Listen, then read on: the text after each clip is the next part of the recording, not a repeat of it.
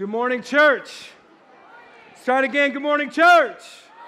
All right, man, it is good to be in God's house. How good was that song?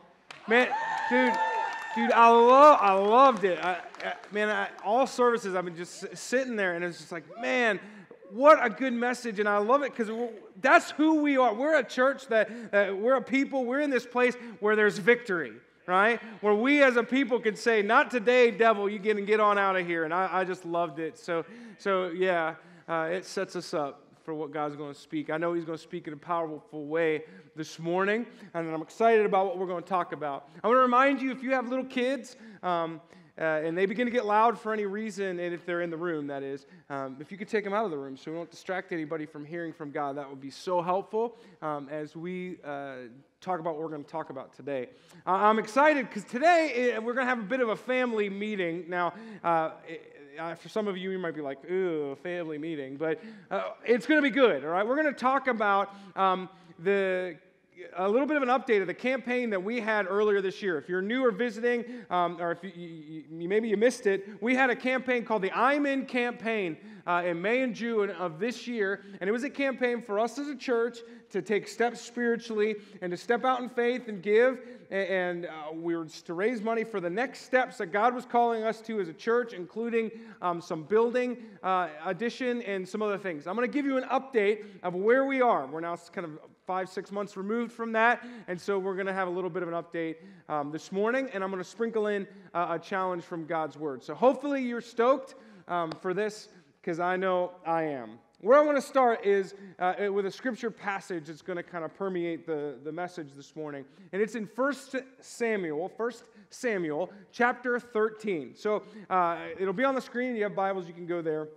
We'll read it together. 1 Samuel, chapter 13. Let me read it for you. One day, Jonathan, son of Saul, said to his young armor bearer, Come, let's go over to the Philistine outpost on the other side. But he didn't tell his father. Saul was staying on the outskirts of Gibeah under a pomegranate tree in Migron. With him were about 600 men, among whom was Ahijah, who was wearing an ephod, and he was the son of Ichabod's brother Ahitub, son of Phinehas, the son of Eli, the Lord's priest in Shiloh. No one was aware that Jonathan had left. Okay, those names, you don't, there's not a test, okay? Uh, the thing that you need to know is Saul was under a pomegranate tree with his immediate army and the priests, and none of them knew that Jonathan had left. Okay? On each side of the pass that Jonathan intended to cross to reach the Philistine outpost was a cliff. One was called Bozez, the other Seneh.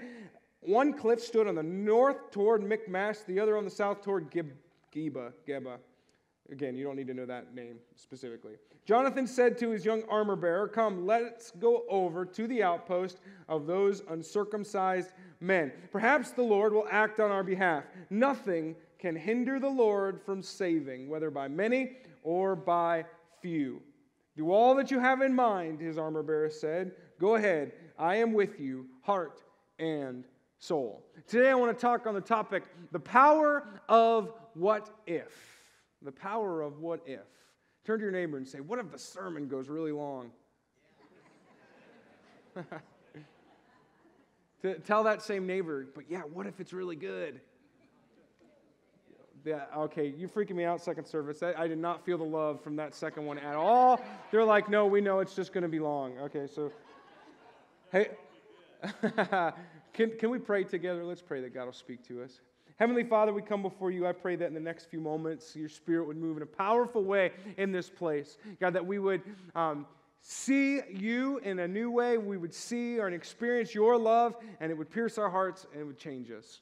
God, we need you to speak. We need you to give us ears to hear and uh, hearts to receive. So, in Jesus' name we pray. And everybody said, Amen. Amen. Amen. What if? What if? What if is a powerful phrase. What if actually can be a, a burden kind of a phrase. What if? I think there's a lot of us probably maybe have this experience where we look back on our lives and we maybe look through a lens of maybe a little bit of shame or a little bit of regret, and we'll say things like, What if? What if I hadn't bought that house? What if I hadn't bought that car? What if I had stayed in school? What if I had picked a different profession? What if that hadn't happened to me? What if I hadn't taken that drink? What if I hadn't married him? What if can be a powerful phrase. What if can uh, leave us with some burdens. So we looked at that text 1 Samuel chapter 13, and we find Saul under a pomegranate tree. Now, this is a really interesting place for him to be, and I want to give you some context as to why that's uh, important. So, Saul's under the pomegranate tree. Saul is the king of Israel. That's God's people, God's chosen people, and Saul has been anointed to be their king. He's been chosen by God, and God has empowered him to lead. Now, up until 1 Samuel chapter 13, Saul is a good king, and Saul is obedient to God, and Saul has seen the power of God work through him to defend the people of Israel. They've specifically against one enemy, the Philistines, which is a warring nation that was trying to um, enslave and overpower and overtake and overthrow the people of Israel. And so God had given through his power he'd given Saul victories over the Philistines to protect his people and expand their kingdom, and it was good. So, so Saul had seen God move. Now, in 1 Samuel chapter 12, Saul got a, a little prideful. He got a little big for his britches, if you will. And Saul disobeyed a direct order from God. And he's basically what he said. He's like, I, you know, I don't need God's help this time. I'm good enough on my own. And basically that's a sin. Okay, so Saul sinned against God, and the prophet Samuel said to Saul, There's going to be consequences because you did this. This was not good.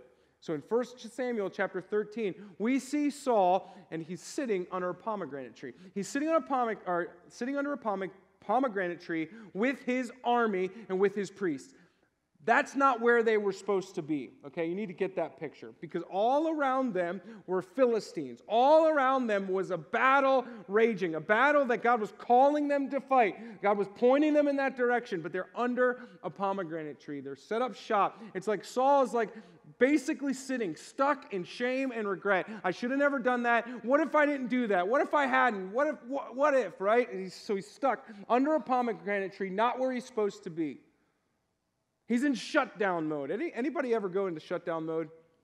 Right? You know what shutdown mode is? It's when you get all stressed out, or maybe you get to that place where you something happened and now you're in regret or shame or whatever. And so you go in your house and you lock your door and you order a couple pizzas and a couple things of ice cream and you eat as much as possible. Maybe, maybe you watch all eight seasons of Walking Dead on Netflix. Yeah, maybe you sin a little bit, go back to that sin that you're used to. That's shutdown mode. That's where Saul is. He's under the pomegranate tree in shutdown mode, and he's stuck. Everybody say stuck. stuck. All right, number one on your outline, fill this in. Regret, the regret and shame of what if can keep you stuck. The regret and shame of what if can keep you stuck. Many of you know exactly what that looks like, what that feels like. You're walking through life. What if this hadn't happened? What if I hadn't done this? What if? and it's keeping you from moving forward. It's keeping you from joy and peace and love and experiencing God. You can get stuck in what if. Let me tell you a story. Story about a little church in Medway, Ohio. Some of you know this story.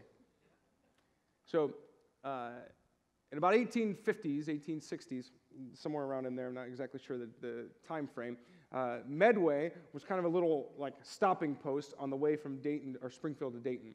And around there were these little farming, very small little farming uh, kind of chunks of people. And when the Methodist circuit rider would come through, uh, he established a couple, like two or three little church communities. And he would go and he would preach to those little church communities. It wasn't, wasn't a lot of people. And that was kind of the, the early rumblings of what would become Medway Church. Well, the turn of the century, early 1900s, those groups of people, they got together and they became Medway Church. And they put some sticks and some bricks together and made the first building that would house more than just these little family deals. Now it was a church, Medway Church. And people came and it was awesome. And they got to see God move um, through that. Now, in the 1950s and 1960s, in the United States, there was uh, kind of a different feeling when it came to church. Almost everybody went to church. It was a cultural norm across the country for people to go to church. And that was represented at Medway Church. People, we had a lot of people coming to Medway Church. We had um, families and kids and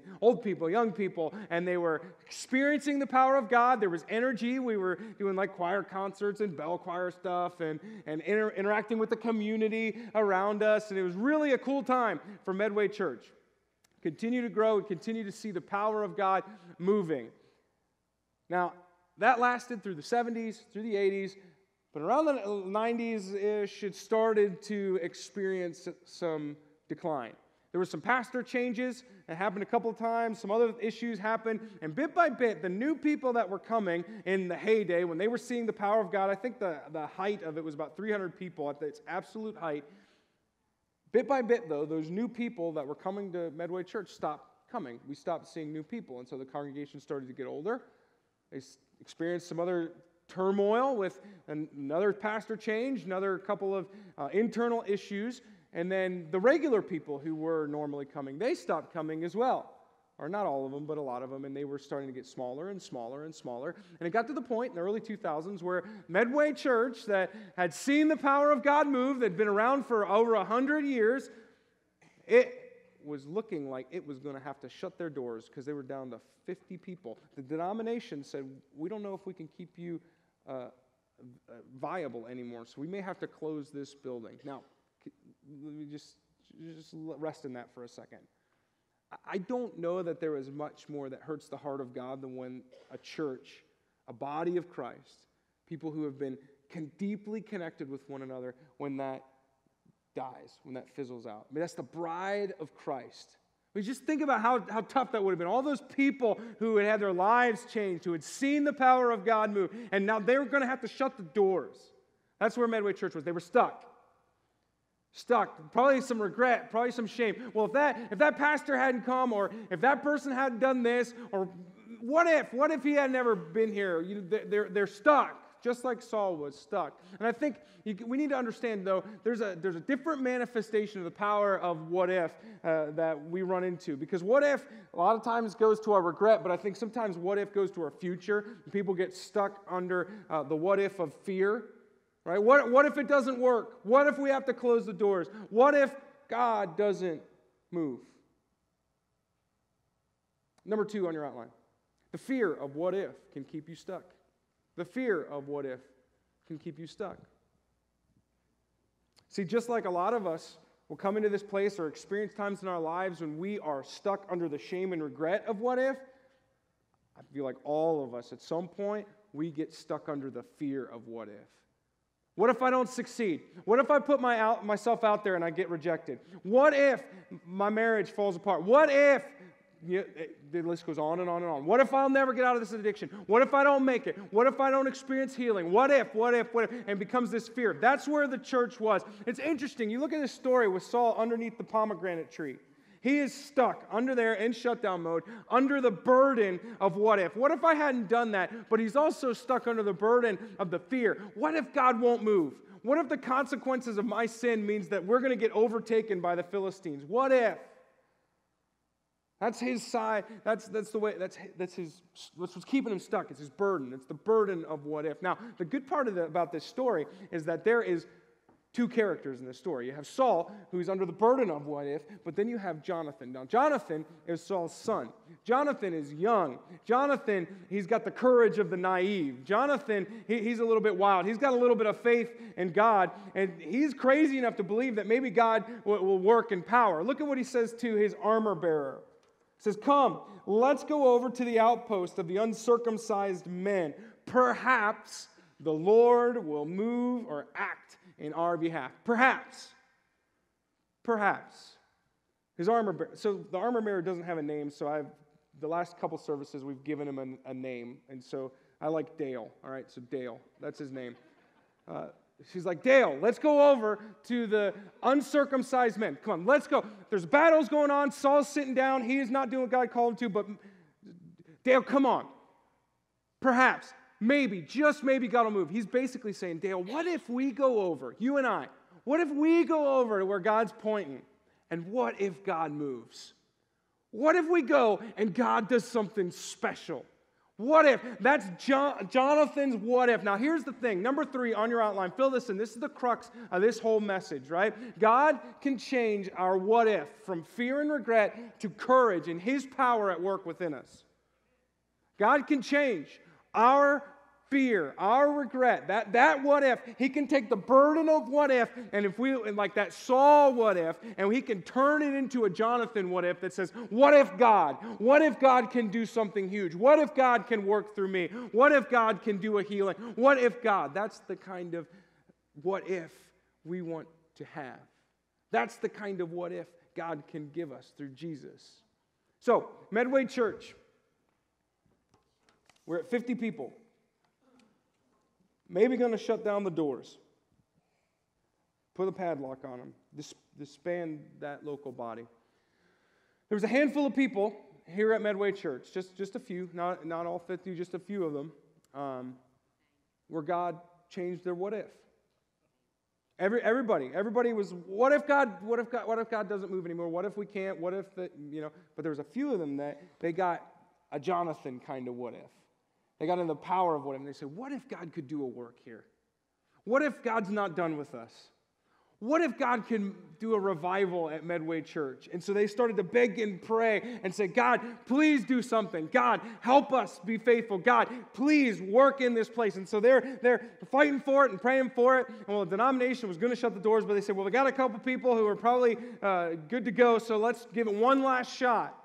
And so the denomination put together uh, a bit of a plan. They got a big church, a healthy church uh, involved. It's called Ginghamsburg Church. It was just down the road from here. They were a healthy, growing church. And so their leadership came and uh, interacted with our church leadership, and they were going to help us find a pastor. And so they were looking all over the place, all over the nation, for a pastor that had experience, like reviving a church, and that was educated and, and just like the A game guy, right? The Peyton Manning, if you will. Looking for, for a good pastor to put at Medway Church so they can take off again. Well, there was a, uh, several months of meetings, lots of meetings going on where uh, the bring in the candidate or talk about a candidate or this is what we need to be ready for and different leaders and stuff. And after a few of those meetings, a guy started to come to the meetings and he would sit in the corner and he kind of looked out of place. He's a guy by the name of Mike.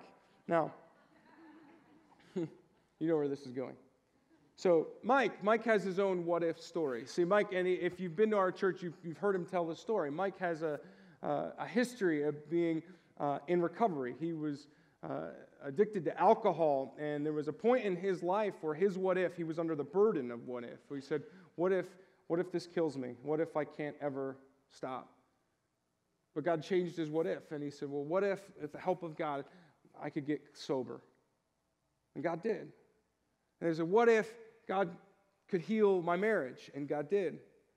And then what if uh, I could maybe serve and be a part, a part of uh, God using me at church? And then God did. And then he did a 12 step group and, and then God did. And then he got this crazy idea of like, what if that church down there, what if God's calling me to be a pastor over there?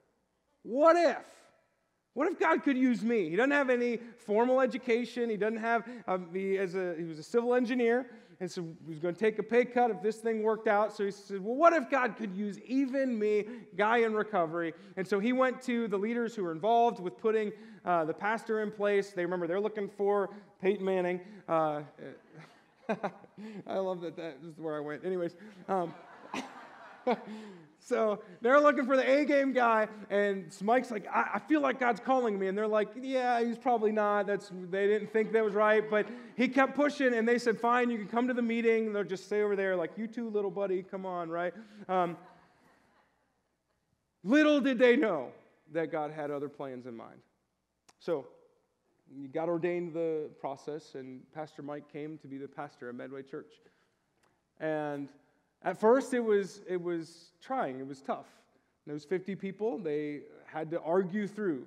Do we change the way we worship? We change the way our building looks? They had to argue, fights and arguments over pews and air conditioning and uh, where, how to do different uh, ministries and things like that.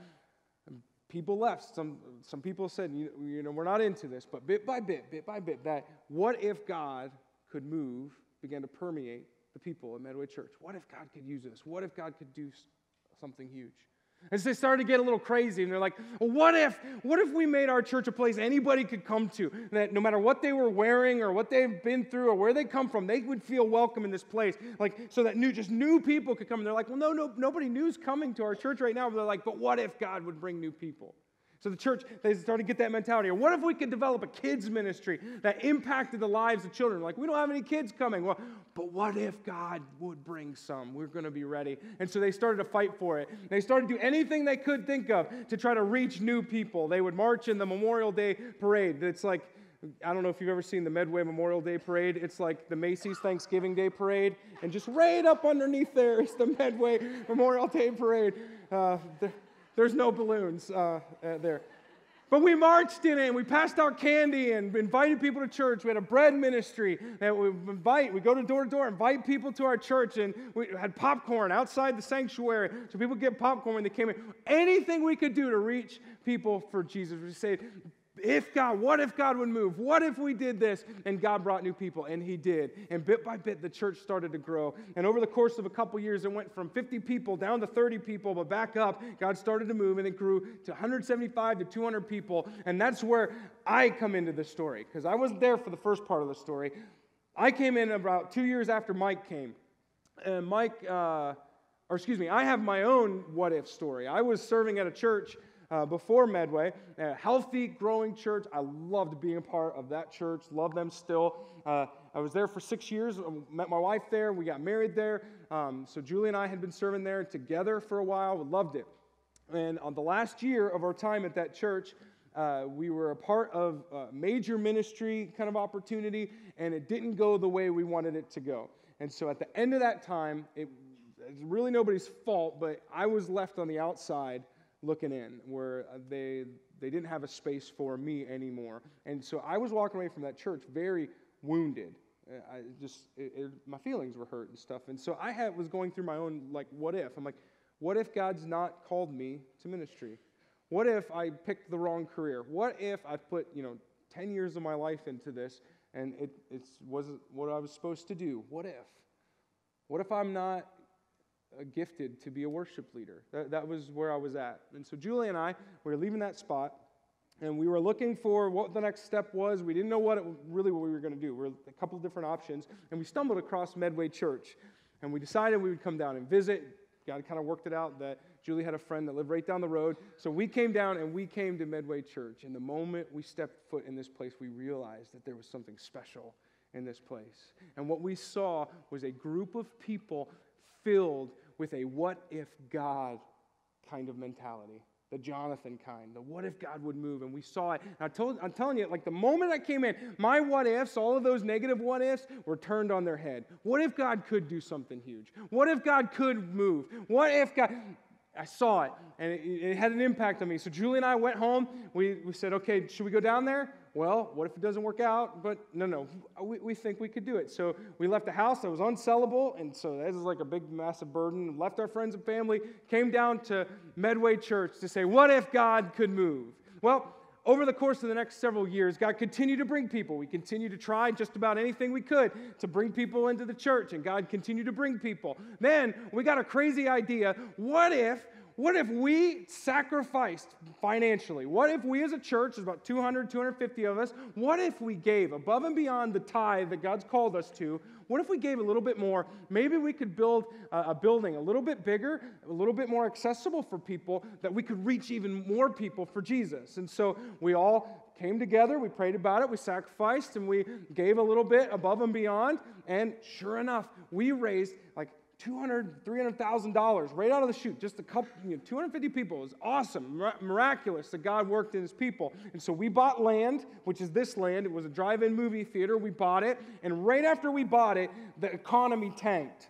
Like, we weren't going to be able to build. We were freaked out a little bit. This was an opportunity for us as a church to crawl back under the pomegranate tree right? We could have, but we didn't. Instead, we doubled down and we said, Can we give some more? And so people gave up some vacations, people gave up a little bit of their retirement, and said, We're going to try to give to be able to build. And God did a miracle. We were able to build the first phase of the building for pennies on the dollar. It was an absolute miracle that what we were able to build. And so we built that, we opened it on Easter Sunday, and like uh, double the attendance the first week. It was awesome.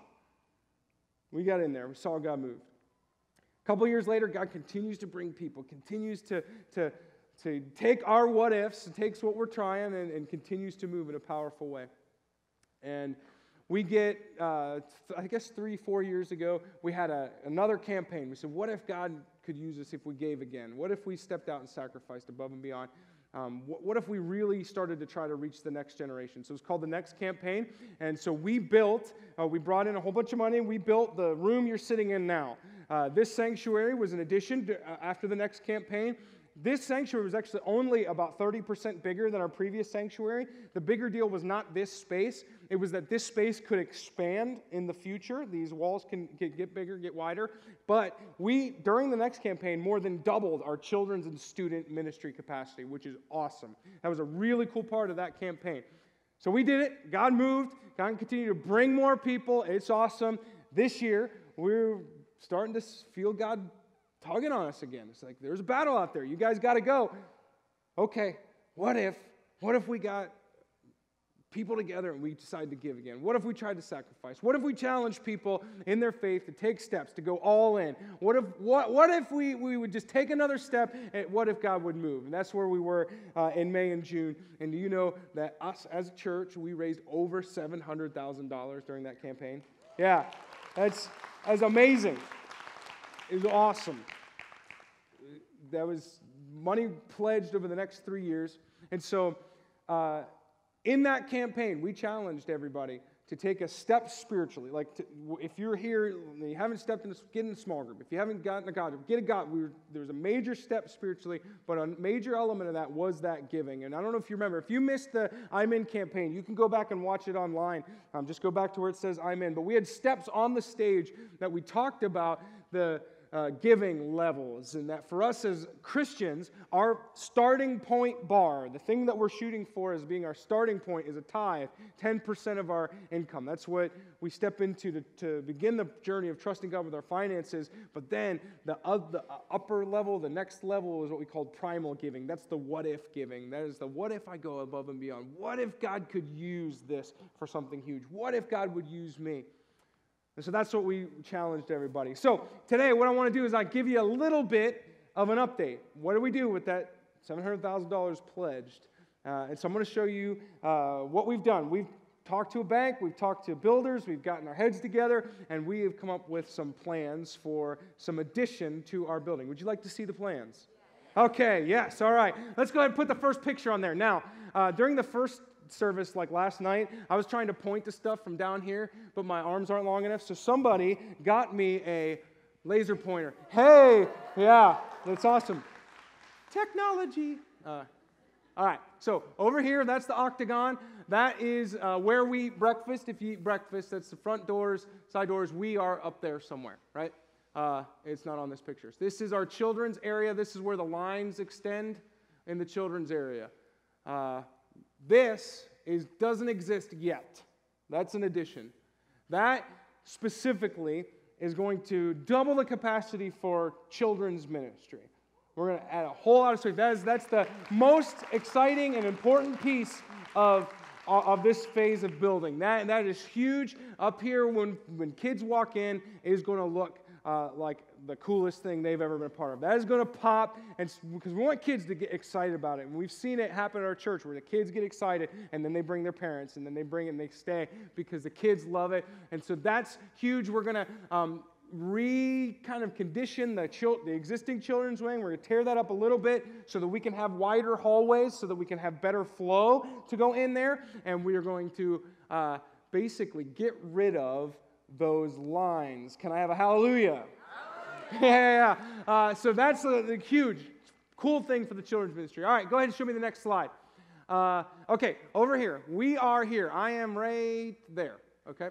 Uh, this right here has not been added yet, but that's what we were planning to add. We we're going to expand the, the sanctuary out those directions so that we can accommodate for some more seating. And we're going to expand the lobby area to accommodate for more people coming in. They can be welcomed. We can interact with them without feeling um, cramped um, because we're all about new people. Um, the expansion of this room will give us the, the capabilities to kind of over a series of steps as we get larger, we can add more and more and more chairs. Um, to this place and almost to, to double what the amount of chair capacity in the end, which is awesome. Now, you, uh, you may think, why do we need more chairs?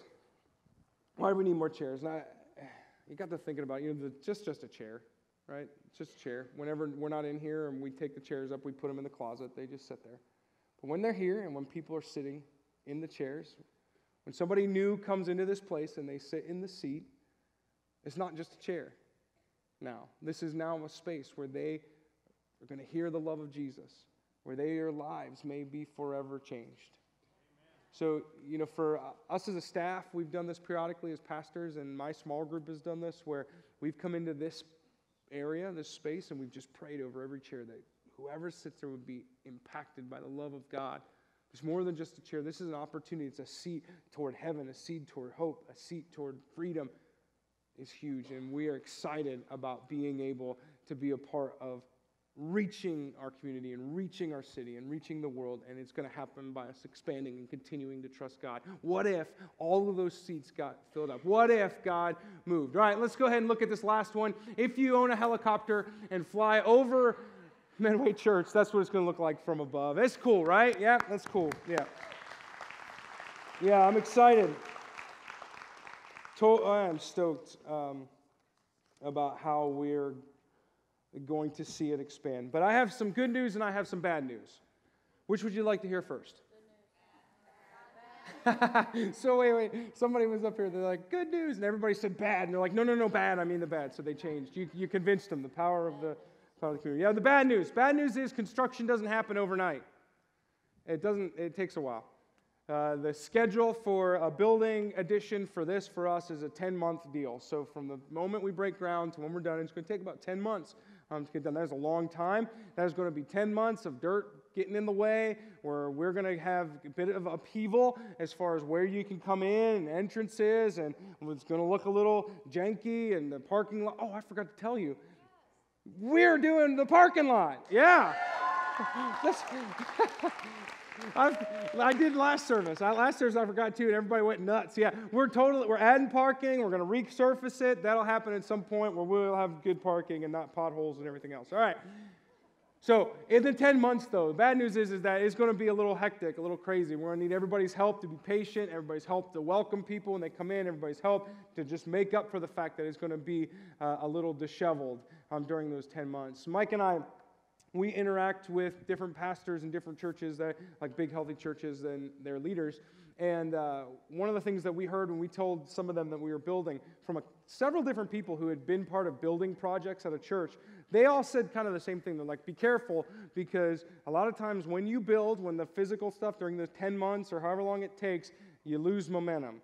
There's a good chance that people will kind of stay home for those things. And so it's kind of bad news, but uh, let me just tell you the good news. The good news is we at Medway Church, uh, we are not under the burden of what if people stop coming and what if people you know, we lose momentum. We are a what if God can move kind of church. And so, yeah, during that 10 months, so it's like, what if God can actually bring more people to this place while it's disheveled? What if God can empower us as a church to step into serving, to up our game, so that we can overcompensate for those things with servants who are loving on people, with, with uh, and helping direct people, and, and, and new folks come in and, they don't even see any mess of construction and God moves. So that's actually good news in there. But the other piece of good news is that we have commenced construction already.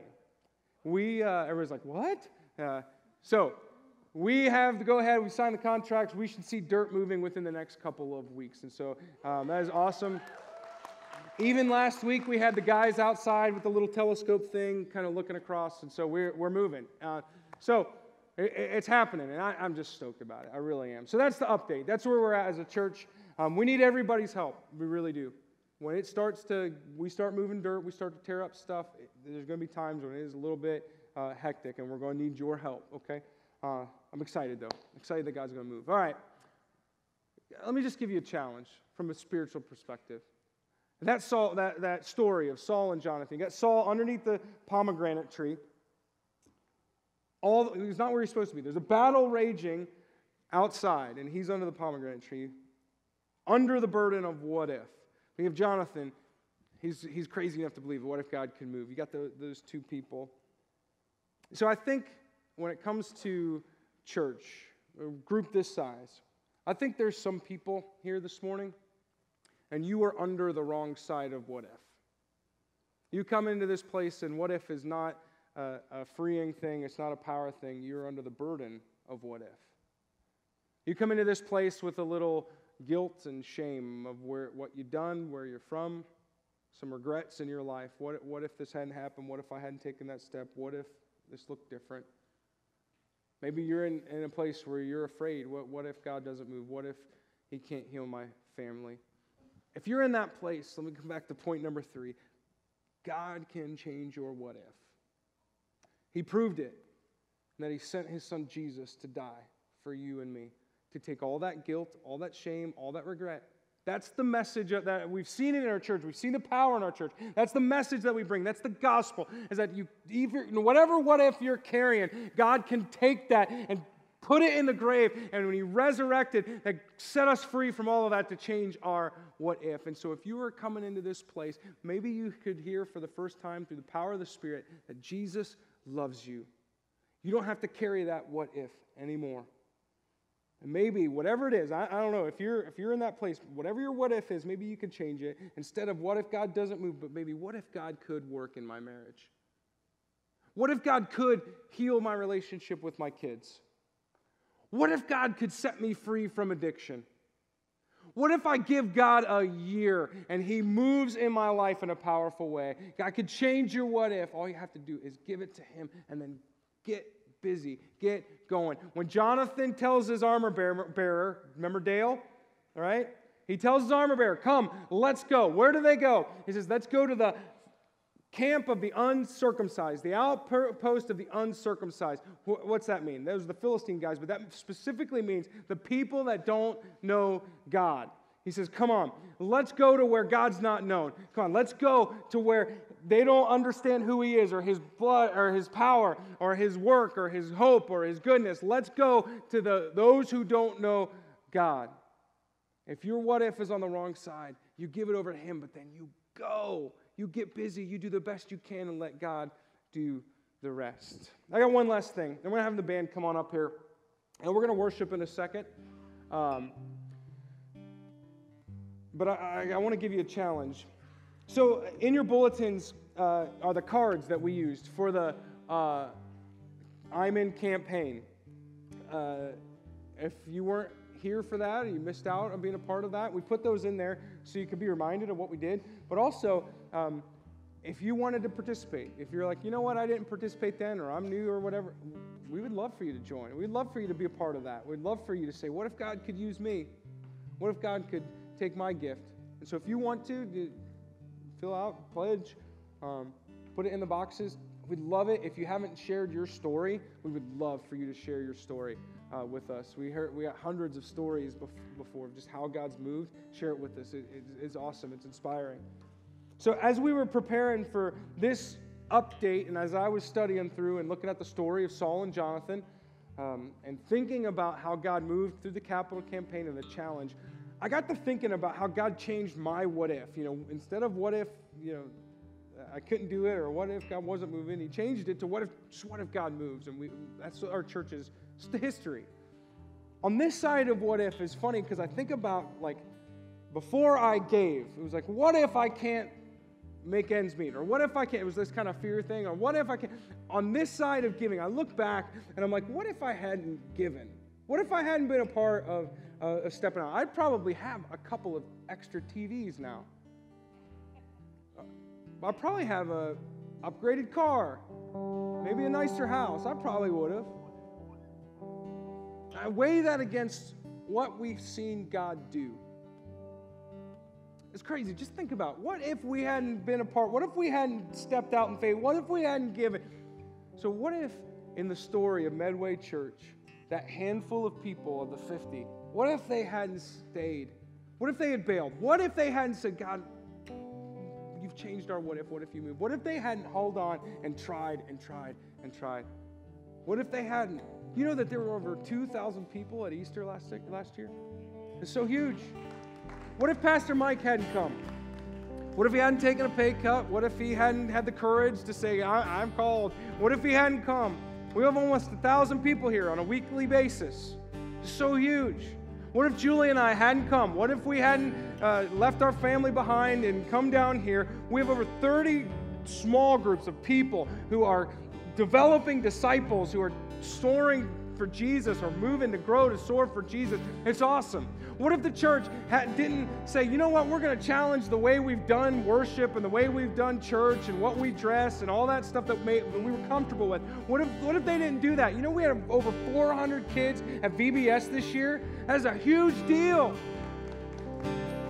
What if, what if we hadn't given on those capital campaigns? What if we hadn't taken the step in faith and saying, God, what if, what if you'll move? What if we hadn't stepped out? You've had over 500 people baptized in this place. That is a huge deal. And if you've ever been here during a baptism service, it is a special service, and there is very rarely a dry eye in the place. Why? Because every time someone comes up out of the water, that represents a life that has been changed and has been made new and has been made alive with the hope that's in Jesus Christ. And so, whenever we have those services, what if we didn't give? We would have missed it. We would have missed out on what God's doing. We would have missed the power of God at work in this place. We would have missed His power. Let me just read these. So, I told you we got a whole bunch of stories. Can I just share you a couple stories that we got during the last capital campaign? I think this will, will be good. What if, what if we hadn't done it? I was invited to Medway by my sister over four years ago. I finally took her up on the offer four Easters ago. The night before, I stayed up doing cocaine all night. I only got one hour of sleep, and then I came to church. I knew I was home as soon as the worship started. I could feel the presence of God here. I've never been the same since I came to Medway. My life has changed completely. I got plugged into a small group and have grown tremendously. I'm home. My name, no, I, I, I'm an alcoholic and a drug addict. I could talk about my past and all of my problems. Listen to this. That's not my story today. Today, I'm a radical follower of Jesus. I'm the hand and feet of Jesus today on this world. I'm a mother to two beautiful young daughters that Jesus blessed me with. I'm a mother who now prays with my children and blesses them every night. I'm a wife who prays that God to God that I can be a living testimony, an example of how the power of God can change our whole life from the inside out. I'm a wife who prays that my alcoholic husband will turn his life over to God, and until then, I will continue to come to church without him. Today, I'm a disciple of God. I pray daily for God to use me in any way and for any purpose that pleases Him. Today, I strive to strengthen my spiritual relationship with God and to follow His will for me and to fill my purpose for God. Today, I am a child of God and I am in. How cool is that? How cool is that? What if what if we hadn't stepped out? Can I ask you something? What if God wants to use you? What if God wants to do a work in you? What if God wants to unleash his power in you? Church, I don't know if you know this, but there's a battle raging outside of these walls. We see it all over. that We're struggling. Our world is struggling with addiction. People are dying. Broken families, motherless children, fatherless children. We see it on the news. There's shootings, there's racism. You name it. There is a battle going on. And I believe that God is looking from heaven. He's saying, I'm looking for a church that'll get out from under the pomegranate tree and go over to the uncircumcised group, to go to the people who don't know Jesus. And, church, you and I, we are brothers and sisters. If you know Jesus, we are brothers and sisters, and we are bound by the blood of Jesus. We are set free from the by the power of His resurrection, and we are set forth in this Holy Spirit's power to reach the world. And I tell you what, church, we will be a church that gets out from under the tree, and we are going to continue to go to the lost, and go to the hurting, and go to the broken. And just like Jonathan told his armor bearer, just like he told old Dale, he says, Come on, let's go. And old Dale, he said, I'm with you, heart and soul. He said, I'm in. I hope you're in because God's going to do a work in us. Let's pray together. Heavenly Father, I pray that in the next few moments we're going to praise your name, we're going to worship. And God, I pray that you would just remind us deep in our souls that we are a what if people. What if you will move? And God, I pray that we would see your power unleashed in this place. God, we love you. We praise you. It's in Jesus' name we pray. Amen. Can you, will you stand? Will you sing There is Power in the Name of Jesus?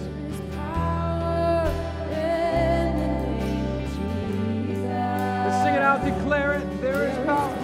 you believe it, church? There is power. That's who we are. There's a battle raging. We are an army that's rising up. I just want to declare it. Let's just declare it together and we'll sing out. There's an army. There's an army rising. Go ahead and sing that out. There's an army. There's an army rising up. Sing it louder, church. Come on. There's an army